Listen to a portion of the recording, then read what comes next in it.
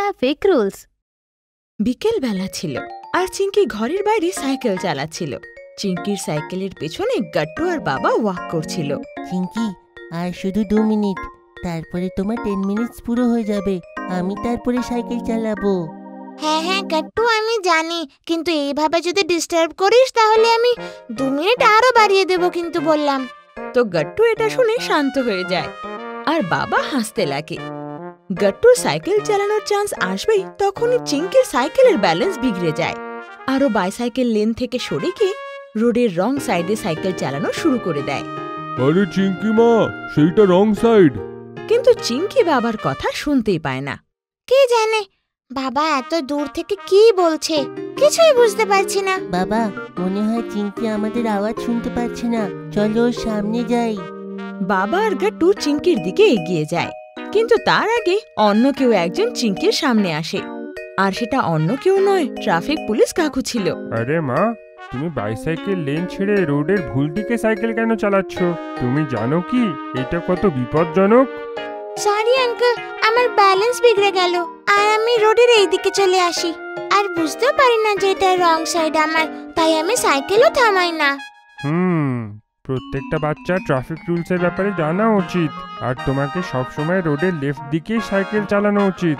ততক্ষণে গাট্টু আর বাবা চিঙ্কির কাছে চলে আসে। এক্সট্রিমলি সরি স্যার এরপরে এমন ভুল হবে না। ইটস ওকে একটু খেয়াল রাখুন।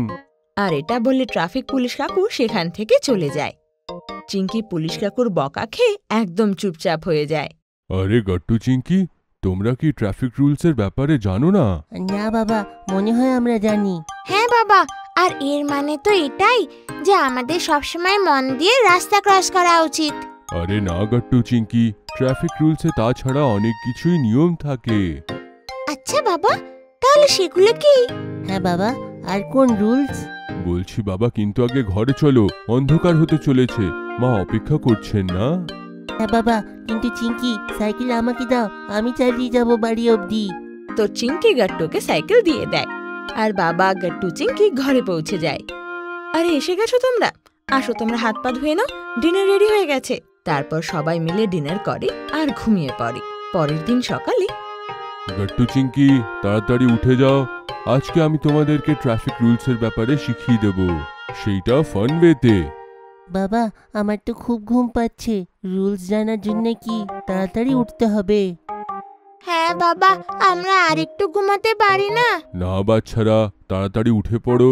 আমি মায়ের সঙ্গে মিলে তোমাদের জন্য ভালো ব্রেকফাস্ট বানিয়েছি। তো গাট্টু চিংকি তাড়াতাড়ি উঠে ব্রাশ করে নেয় আর ডাইনিং টেবিলের পাশে গিয়ে বসে পড়ে।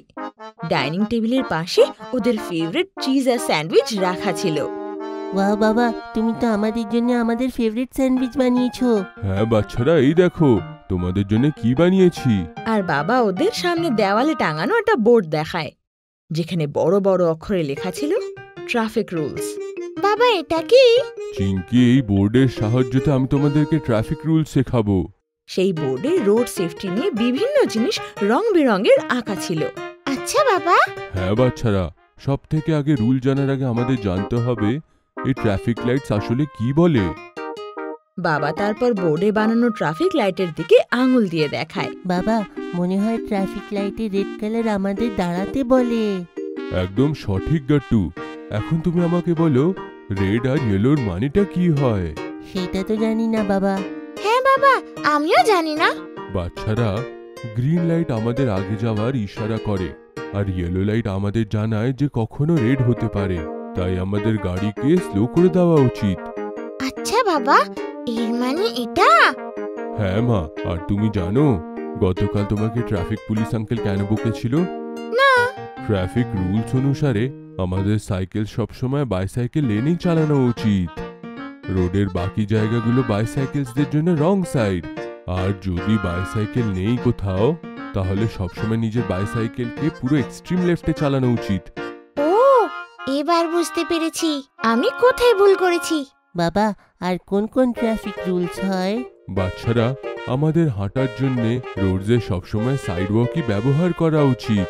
আর বাইসাইকেল কিংবা বাইক চালানোর সময় হেলমেট এবং কার চালানোর সময় সিট বেল্ট অবশ্যই পরা উচিত।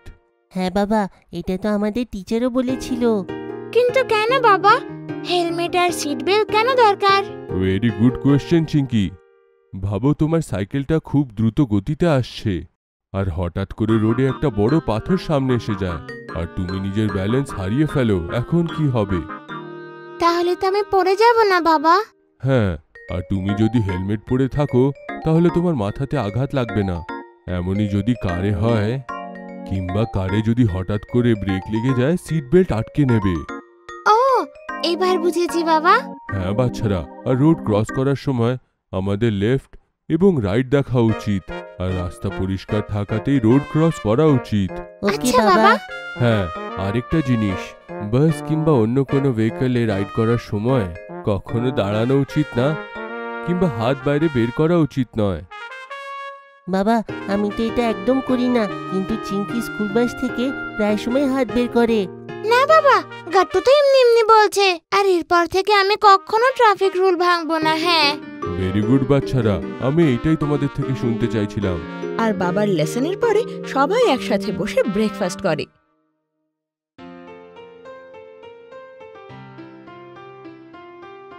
গাট্টু আর চিঙ্কি ঘরের মধ্যে একদম হুটো পুটি করছিল। দুজনে সোফার কাছাকাছি ধরাধরি খেলা খেলছিল। গাট্টু একটু ফাস্ট দৌড়ায়। তাই চিঙ্কি ওকে ধরতেই পারছিল না। যতই তাড়াতাড়ি দৌড়াও গাট্টু আমি তোমাকে ধরেই নেব। যাবিটা কোথায়? ধরতে পারবে না। তোমার পা আমার থেকে ছোট আর তোমার স্পিডও ভালো নেই। উম, চিঙ্কিও মুখটা ভেঙিয়ে ফেরত জবাব দেয়। এই, আমি ধরে নেব তোকে। আমি আসতে দৌড়াই তাতে কি? বাবা ওদেরকে কাছে বসেই দেখছিল। আর ওদিকে মা রান্নাঘরে দাঁড়িয়ে এসব দেখতে দেখতে বলছিল আরে আস্তে দৌড়াও তোমরা দুজনে।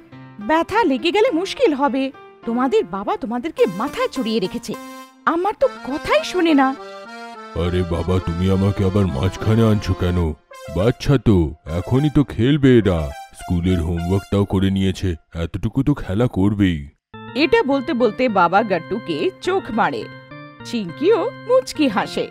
I love you papa. I love you too মা। তোমরা সবাই খেলতে থাকো। মা বকবি আমি আছি তো। দুজনে আবার সোফার আশেপাশে আবার হল্লা করে। তখনই দরজার ঘন্টি বাজে। গাট্টু চিঙ্কি দেখো দরজায় কে এসেছে? হ্যাঁ দেখো তো আগে দরজাটা খোলো এখন আবার কে আসলো? গাট্টু দৌড়ে গিয়ে দরজা খোলে। দেখে যে সামনের বাড়ির দিদা মায়ের সাথে দেখা করতে এসছে। সাথে বান্টির দিদাও আছে। ওনাদের দেখে গাট্টু জোরে বলে হ্যালো দিদা কে এসেছে বাবা? বান্টি দিদা এসেছে। মা এটা দেখে রেগে যায় আর বলে আরে ওরা তোমার বন্ধু নাকি? ঠাকুমা পা ছুঁয়ে প্রণাম করতে হয়। হ্যালো দাদি আবার কি? চিঙ্কি তুমিও ঠাম্মার পা ছো? গাট্টু আর চিঙ্কি দুজনেই ঠাকুমার পা ছোয়ে। প্রণাম দিদা। আরে খুশি থাকো তোমরা দুজনে। অনেক পড়াশোনা করো ভালো করো। বাড়িতে অতিথিরা এলে ভেতরে ডাকতে হয় বেটা। আরে বৌমা, এদেরকে কেন বকছো? এরা দুজনেই ছোট, আস্তে আস্তে বুঝে যাবে। সে কথা নয় মাসিমা ম্যানার্স তো এখন থেকেই শেখাতে হবে। হ্যাঁ হ্যাঁ সে কথা ঠিক। আমার আশীর্বাদ তো সব সময় দুজনের সাথে আছে। যেমন আমার বান্টি, তেমনই এরা দুজনে। খুশি থাকো সব সময়। তোমার কথাটা তো ঠিকই। বাচ্চাদের ম্যানার্স এখন থেকেই শেখাতে হয়। যাই হোক, আমি তোমাদেরকে সব নেমন্তন্ন করতে এসেছিলাম। পরশুদিন আমাদের বাড়িতে সত্যনারায়ণের কথা। সবাই নিশ্চয়ই এসছো। এবার যাই, ঠিক আছে। দাঁড়ান, বসুন না, আমি চা নিয়ে আসছি। আরে না, অন্য সব বাড়িতেও যেতে হবে। আবার খালি সময়ে আসব। এইটা বলে উনি চলে যান। মা বাচ্চাদেরকে নিজের কাছে ডাকে। বাচ্চারা সব সময় বড়দের সম্মান করা উচিত বুঝেছ? যদি বান্টি আসে তাহলে ওকেও এরকম সম্মান করতে হবে। ও তো তোমাদের বন্ধু ক্লাসমেট তোমাদের আর ওর একই বয়স। কিন্তু ওকেও তোমাদের হ্যালো হাই করা উচিত। সকালে দেখা হলে গুড মর্নিং বিকেলে দেখা হলে গুড ইভিনিং আচ্ছা তো সকালে উঠে কি বাবাকেও আমাকে হাই বলতে হবে? হ্যাঁ বাচ্চারা এগুলোকে গুড ম্যানেজ বলে। তোমরা তো আমার ভালো শোনা না? আমার ভালো বাচ্চা। তাই সবসময় গুড ম্যানার্স ফলো করবে। স্কুলেও টিচারদের সঙ্গে দেখা হলে ওদেরকে গ্রিট করবে। বাকি বাচ্চাদের হ্যান্ডশেক। মা এই গুড্ডি তো আমার সঙ্গে আর্ধেক সময় লড়াই করে। আমি ওকে হাই করব না। এমন বলে না চিঙ্কি। ও তো তোমার বেস্ট ফ্রেন্ড দেখো যখন কেউ ক্লোজ হয় তখন ওকে সরি কিংবা থ্যাংক ইউ বলতে ইতস্তত হতে নেই। কি ভাবি মা? আচ্ছা মা স্কুলে হেড ম্যাডামেরও পা ছুতে হবে। এতক্ষণ বাবা যে চুপচাপ শুনছিল হেসে এখন বলে ওনাদেরকে তুমি গুড মর্নিং কিংবা গুড আফটারনুন সময়তে বলো ওরা স্কুলে আছে। ঠিক আছে পাপা। পরের দিন সবাই স্কুল যায় আর বাবা মার বলার মতন সবাইকে গ্রিট করে। হ্যালো গুটি আমি সরি আমি তোমার সাথে লড়াই করেছিলাম। তুমি সরি বললে চিঙ্কি হ্যাঁ মা বলেছে কেউ সরি বললে কেউ ছোট হয় না। তুমি তো আমার বেস্ট ফ্রেন্ড তুমি রেগে গেলে তাহলে আমার ভালো লাগে না। কিন্তু চিঙ্কি ভুল তো আমার ছিল। সরি তো আমার বলতে হতো। এইটা বলতে বলতে ও থেমে যায়। আই এম সরি চিঙ্কি আজ থেকে তুমি সব সময় আমার বেস্ট ফ্রেন্ড আমি কখনো তোমার সাথে লড়াই করব না। দুজনে একে অপরকে জড়িয়ে ধরে। তখনই ক্লাসে টিচার আসে। Good morning miss good morning বাচ্চারা। আজকে আমরা ম্যানার্সের ক্লাস করব। তোমরা সবাই কে কে জানো ম্যানার্সের কথা? কে জানাবে? তখনই চিঙ্কি হাত উঁচু করে। হ্যাঁ চিঙ্কি বলো। সব সময় বড়দের পা ছুতে হবে। ওরা যখন বাড়ি আসে তখন তাদেরকে জল চা খাবারও জিজ্ঞেস করতে হবে। যদি বন্ধু হয় তাহলে সবাইকে হ্যালো হাই আর জড়িয়ে ধরতে হয়। আরে বাহ কত ভালো সংস্কার। দেখলে বাচ্চারা শুনলে সবাই চিঙ্কি কি বলল? ক্লাসের সব বাচ্চারা এক আওয়াজে বলে ইয়েস মিস আর হ্যাঁ সকালে কারোর সাথে দেখা হলে গুড মর্নিং দুপুরের বারোটা অবধি। তার পরের সময়ে সকলকে তোমরা গুড আফটারনুন বলতে পারো কারণ তখন আফটারনুনের টাইম হয়ে যায়। ম্যাডাম সবাইকে ইভিনিং কোন সময় বলব? এমনিতে তো বিকেলেই বলা হয় যখন সূর্য নেমে যাচ্ছে। কারণ তারপরে তো রাত হয়ে যায়। আর হ্যাঁ বাচ্চারা রাত্রেবেলা সব থেকে শেষের গ্রিটিং গুড নাইট বলা হয়। আমি আমার মা বাবাকে গুড নাইট বলেই শুই মিস ভেরি গুড চিঙ্কি আর বাকি বাচ্চারা? আমরাও মিস বাহ কত ভালো আর সিনসিয়ার ক্লাস আমার। I am so proud of you Gattu আর চিঙ্কি বাড়ি আসে আর তৈরি হয়ে বান্টির বাড়ি যায়। গাট্টু দৌড়ে গিয়ে ঠাকুমার পা ছুঁয়ে। দিদা প্রণাম। ও বাবা খুব ভালো থাকো। খুব ভালো পড়াশোনা করো উন্নতি করো। মা গাট্টু আর চিঙ্কিকে দেখে মনে মনে খুব খুশি হচ্ছিল। তখনই বাবা এসে বলে থ্যাংক ইউ তুমি দুই বাচ্চাকে কত ভালো সংস্কার দিয়েছ। আপনাদের যদি আমাদের ভিডিও ভালো লেগে থাকে তো আমাদের ভিডিওকে লাইক করুন কমেন্ট করুন আর সাবস্ক্রাইব করুন।